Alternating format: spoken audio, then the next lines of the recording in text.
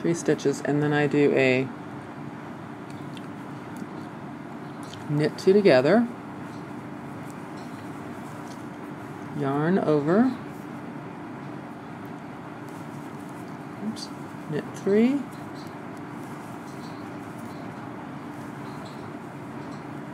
If you look at the where I just did the yarn over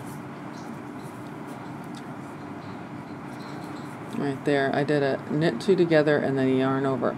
See below those are yarn overs where the holes are. Yarn over you're not knitting anything you're just wrapping the yarn around the needle makes a hole. Okay so I just knit three there. And then I do another yarn over. And then this is a double decrease. So what I'm going to do is I'm going to take two over to this needle without doing anything with them. Knit that one. Then stick the needle on the left hand back through those two that I did and carry them over. yeah, only when I'm not being doing it slow. There we go. Knit, bring them over and see that makes in the pattern we're bringing this up to a point. See how that did that? I don't know. I don't know if you can see this or not. But so then there's a yarn over, another knit three.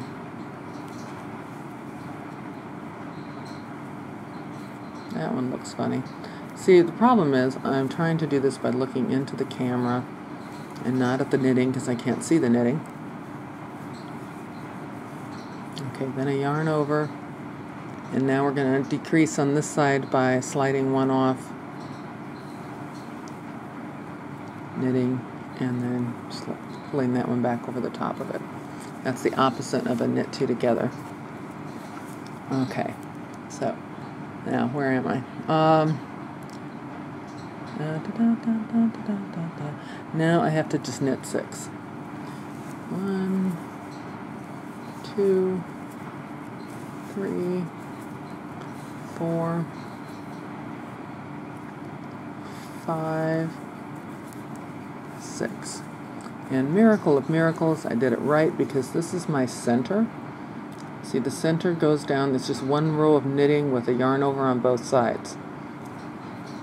So I make a yarn over, knit. Ah, see, part of not being able to see. So my yarn over, knit, yarn over. Okay, so that's my center. And normally I would have stitch markers in this. I'm not far enough along, I think, that I put stitch markers in.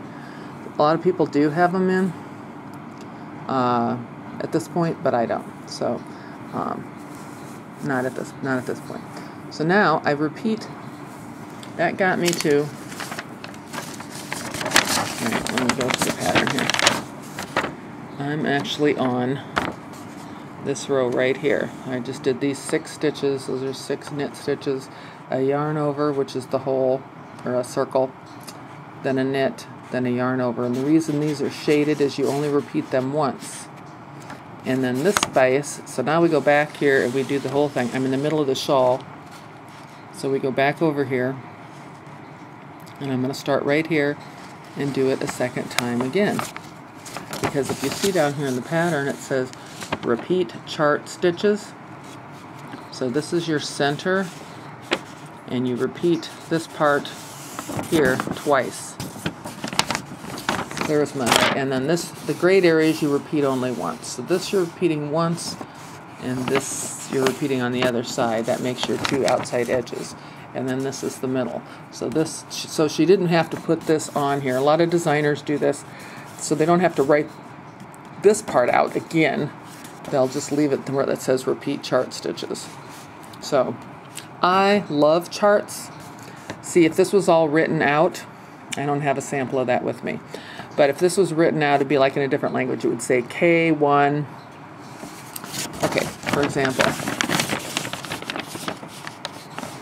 Um, let's see.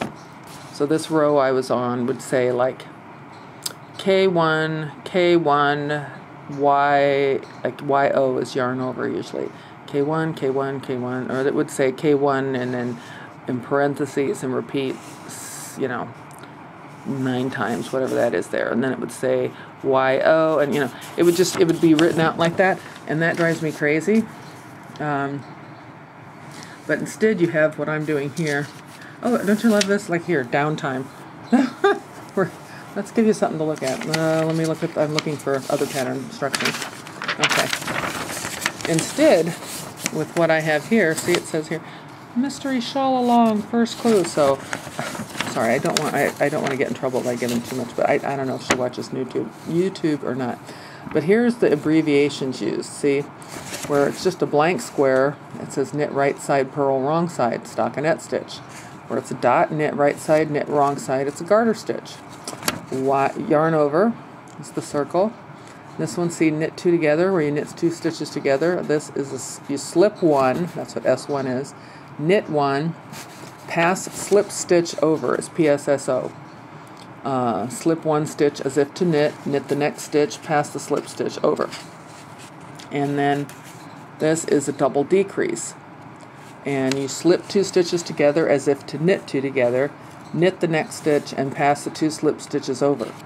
This is these are these are common abbreviations that are used in all kinds of knitting. Pretty much you learn this and that's this is it. These are the stitches that will be used in this entire shawl. Um, nothing else, that's it. And it's just a combination of those and knowing where to do it. Um, and that's how you, how you follow the pattern. And I encourage anybody that is a knitter, oops, let's get back to this. Anyone that is a knitter should try this, I think, because I think it's incredibly beautiful when it's done and you have a great sense of accomplishment and it's fun. Well, you know, some people don't think it's fun, but for me, it's fun. Okay, so that's my six stitches after that. Knit two together, yarn over, knit three, whoops. See, when I'm not watch watching, I can easily split this yarn. So there's knit three, yarn over, and this is our double decrease. I'm going to slip two off, knit, knit one, stick my needle on the left hand through those that I did and pass those slip stitches over and we've decreased by two. Does that look right? Huh, I'm asking you and you're looking at me like I'm crazy. I think that's right. I'll have to go back. See, I go back and count a lot. You do a lot of counting with this. Okay, that's the center back again. See, but isn't it pretty? What do you think of that yarn? I like it. Anyway, uh, my time, I'm looking at almost nine minutes. So, anyway, I'll leave you with that. That's our little lesson for today. What do you think? Loving it? You feeling the love? See, look at this down here. Isn't that pretty? And all those are is these are decreases and yarn overs. Honest to God, I would not lie to you. That's how, how you do it. Okay, let me put some white behind this. see it. Makes a beautiful, beautiful shawl. And Renee, the designer of this shawl, her website is Goddess Knits. And it's it's great. These knitting, these uh, mystery shawl alongs. They she charges five dollars, and at the end you have this beautiful pattern. And uh, that's why I'm not going to show you more detail because it would be a copyright infringement if I were. But just from the little bit I've showed you, there is absolutely no way you could make this shawl.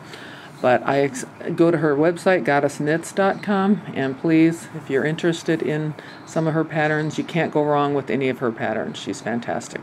Tell Renee I sent you. Well, she won't know me from Adam because she knows me by a different name, my Yahoo name. Anyway, thanks guys. 10 minutes. Oh no, it's like Snark. I gotta go. Bye.